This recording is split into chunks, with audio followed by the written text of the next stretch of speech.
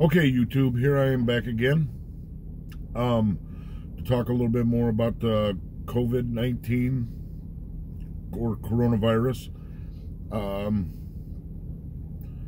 since I talked to you yesterday, um, I gave you the stats that were updated at 5:30 in the morning yesterday.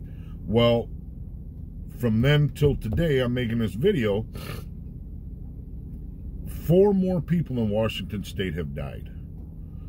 That's unbelievable. Um, that means six people total have died in in Washington state from this virus. I don't know how many people are infected, and maybe I should have tried to find that out before I made this video. But I don't know how many people are infected in Washington state or what they're saying. But that that to me is amazing. Four people died overnight. Man, come on. You know, they've got two more people in Chicago, Cook County, that have the virus now. And from what I understand, they're in their 70s. It's a man and a wife, husband and wife. Um, they they have it. The the the lady is at the house. She's under quarantine at her house, and uh, her husband is in. I don't know if it's intensive care or it's in the quarantine thing at the hospital, but they're both, from what I understand, doing fine. Um, but that kind of worries me, and I'll explain why. See, because where I live in a small town uh, west of Chicago, there's a big lake. It's called Lake Carroll, where and people in Chicago or from Chicago, they like to buy up property around my town, and they like to vacation out around my town. So see, and this worries me for for one simple reason that if they're going to have more cases in Chicago, because now they can test it for better in Chicago. They've they've they've got the resources, and I think they got the test kits. Um, so if that happens and they they start to shut that uh, schools down and stuff, what worries me is these people that are stuck in in the suburbs and stuff are going to start to freak out. They're look, we got to get out of Chicago. Where do we go? Oh, we own a five hundred thousand dollar house out at Lake Carroll. Let's go there. You know and so this is what bothers me is we got this small town that I live in and the next town over, which is Lanark. Um, and they're both small towns, but we might not might not necessarily have a problem with the the virus. But now you're getting all these people coming out of Chicago. Who's to say they're not going to bring the virus with them?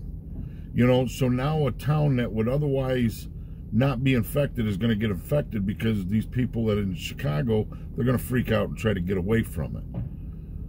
You know, so that's why I'm trying to say we can't we can't freak out. We can't go nuts over this. We got to act calmly and rationally and we got to try to take care of our families but not at the expense of other people's families.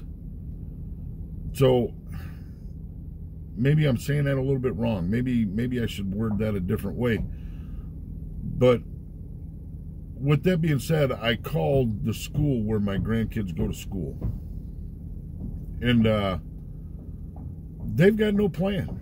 You know, they said, well, just make sure the kids wash their hands. And if they sneeze or cough, they cover it.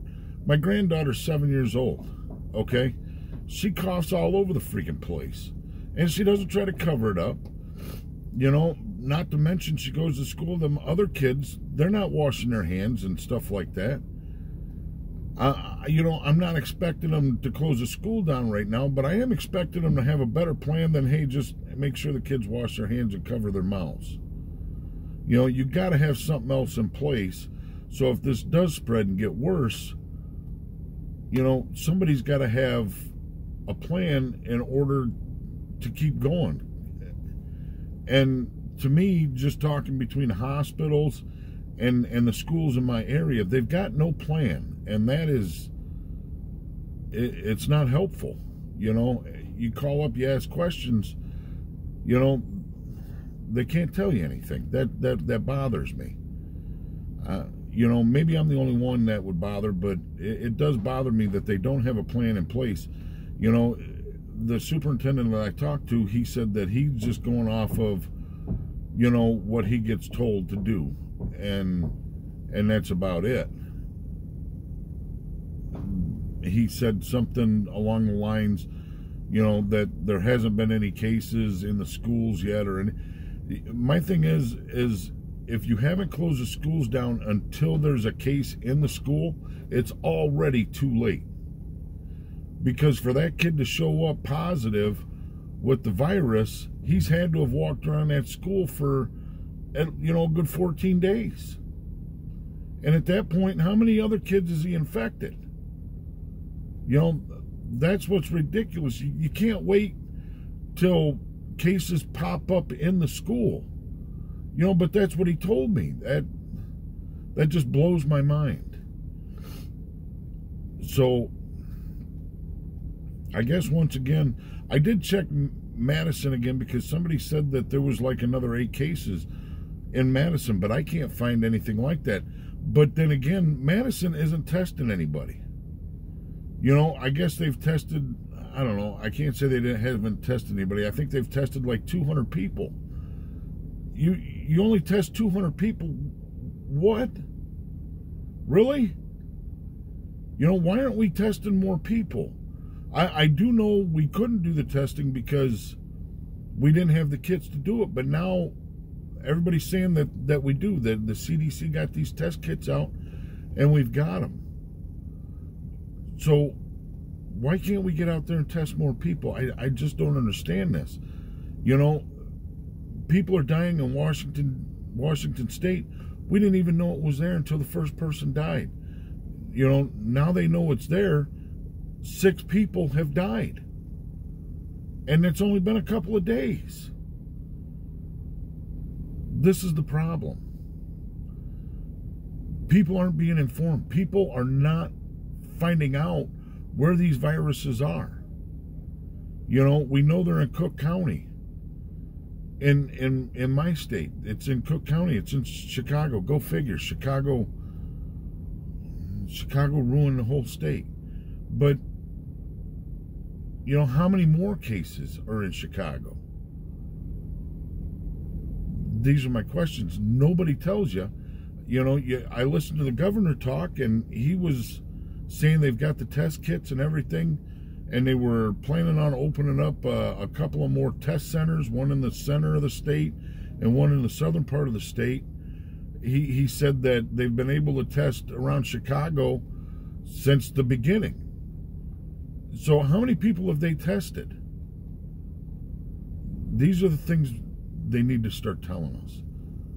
You know, like I said, as I learn more information, I'll make another video. Like and share these things you know, so it gets out to people. Um, other than that, I'll talk to you later. Bye bye.